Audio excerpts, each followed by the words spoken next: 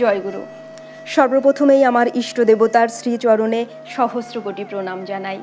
সকল গুরুজনদের আমার সশ্রদ্ধ প্রণাম ওরা আনন্দিত জয়গুরু আজ বিখ্যাত স্বাধীনতা সংগ্রামী দেশবন্ধু চিত্তরঞ্জন দাসের শুভ জন্মদিন। তিনি আঠেরোশো সত্তর সালের পাঁচই নভেম্বর জন্মগ্রহণ করেন।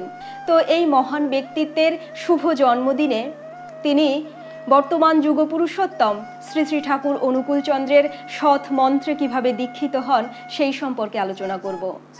ঋষি অরবিন্দের কনিষ্ঠ ভ্রাতা বারীন্দ্র কুমার ঘোষ মহাশয়ের কাছ থেকে তিনি শ্রী শ্রী ঠাকুর অনুকূলচন্দ্র সম্পর্কে অনেক তথ্য জানতে পারেন এবং ঠাকুর সম্পর্কে এই জানার পরে তাকে নিজের চোখে দেখার একান্ত ইচ্ছা তার মনে জেগে ওঠে। আর এই ইচ্ছা পূরণ হতেও কিন্তু খুব বেশি দেরি হলো না। ঠাকুর কলকাতার মানিকতলার এক বাড়িতে অবস্থানকালে বাংলার তেরোশো একতিরিশ সালে পরম দয়াল শ্রী শ্রী ঠাকুরের সাথে তার সাক্ষাৎ হয়। এবং সেদিন সন্ধ্যায় শ্রী শ্রী ঠাকুরের সাথে তার ধর্মনীতি, রাজনীতি, শিক্ষানীতি সমাজ সংস্কার, গুরুকরণ ইত্যাদি বহু বিষয়ে দীর্ঘক্ষণ ধরে আলোচনা চলে।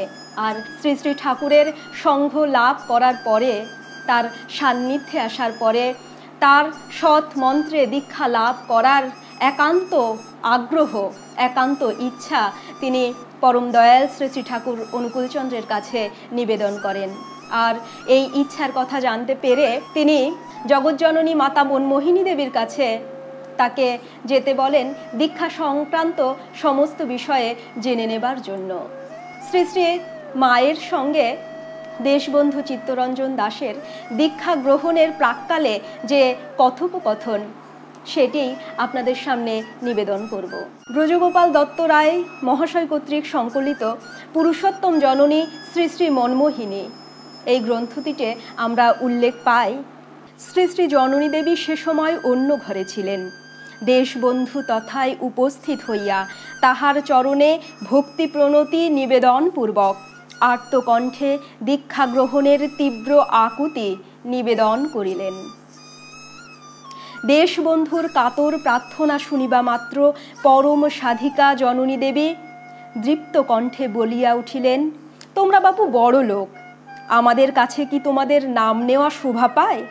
বড় লোকদের আমার আর বিশ্বাস হয় না। তারা মনে করে, ভগবানকেও তারা অনুগ্রহ করে। এই তো সেদিন পাল।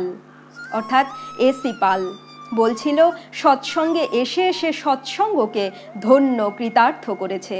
জননী দেবীর ঈদৃশ্য উক্তি অতীব কর্কশ ও কঠোর হলেও, মহাজ্ঞানী ও গুণী চিত্তরঞ্জন তাহার এই রূপ, সুস্পষ্ট সত্য ভাষণের সার্থকতা মর্মে মর্মে উপলব্ধি করিলেন। এবং অতীব বিনয় নম্র কাতর কণ্ঠে নিবেদন করিলেন, মা, আমি পাপি, আমার উপর দয়া হবে না। তা তো জানি, আমি নিতান্ত অভাজন। জগন্নাথ সবাইকে দয়া করেন, আমি শুধু তার কৃপা লাভে বঞ্চিত। জগন্নাথের মন্দিরে কত জনেই যায় আমি কিন্তু অভিমানে কোনোদিন সেখানে প্রবেশ করি নাই। চিত্তরঞ্জনের এমন সহজ সরল অকপট ভাষণে জননী দেবী একান্ত প্রীত হইয়া বলিতে লাগিলেন, কতজনকেই দেখেছি সবাই নাম নেয়। দুই তিন দিন পরে ছেড়ে দেয়। বলে, ওতে কিছু হয় না, আর নিন্দা করে। তুমি দেশ বন্ধু দেশময় তোমার প্রভূত নাম যশ। জননেতা বলে, সবাই তোমাকে কত সম্মান করে। তুমি হয়তো মনে করো তুমি এখান থেকে নাম নিয়ে সৎসঙ্গকে চরিতার্থ করছ। অন্তরে এমন ভাব থাকলে তোমার নাম নিয়ে কাজ নেই বাপু। যদি সৎসঙ্গের ভাবধারা পরমপিতা থেকেই এসে থাকে, এ কথা সত্য হয়, তবে তা গ্রহণ করলে নিজেরই তো লাভ বেশি। কৃতার্থ হলে সেই হয়েছে যে এই সৎ নাম পেয়েছে। জননী দেবীর এরূপ বলিষ্ঠ, সুস্পষ্ট। যথার্থ ভাষণে সত্যনিষ্ঠ, উদার চেতা চিত্তরঞ্জন জননী দেবীর প্রতি আরও সমাধিক অনুরক্ত ও শ্রদ্ধান্বিত হইলেন। এইবার তিনি বিনয় সমন্বিত দৃঢ়তার সঙ্গে মাতৃচরণে নিবেদন করিলেন। মা, চিত্তরঞ্জন যখন যা গ্রহণ করেছে, ভেবে চিনতেই করেছে। সে একবার যা ধরে, তার শেষ না দেখে ছাড়ে না। দেশবন্ধুর আন্তরিক অসীম আগ্রহ এবং তাহার চারিত্রিক দৃঢ়তা ও নিষ্ঠার জ্বলন্ত পরিচয় পাইয়া জননী দেবী নিরতিশয় সন্তুষ্ট হইলেন এবং সানন্দে তাহার সাধন প্রণালী সবিস্তারে বুঝাইয়া দিয়া যথারীতি সৎ মন্ত্রে দীক্ষা দান করিলেন। ভাগ্যবান চিত্তরঞ্জন সেদিন পরম প্রেমময় শ্রী শ্রী ঠাকুরকে সদ্গুরুপদে বরণ করিয়া ধন্য হইলেন। তাহলে এখানে আমরা সবিস্তারে জানতে পারলাম যে মনের একান্ত ইচ্ছা, তীব্র আকাঙ্ক্ষা থাকলেই ঠাকুরের সৎ মন্ত্রে দীক্ষিত হওয়া যায় এবং তীব্র আকাঙ্ক্ষাই শুধু নয়, তার সাথে সাথে দরকার সেই মুহূর্ত থেকে, সেই ক্ষণ থেকে পরম দয়াল শ্রী শ্রী ঠাকুরকে নিজের জীবনে প্রতিষ্ঠা করা।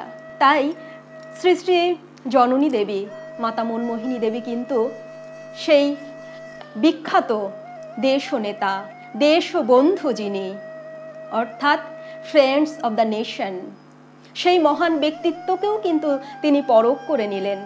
যে তিনি শুধুমাত্র ঝোঁকের বসেই শুধু দীক্ষা নিতে চাইছেন না তো?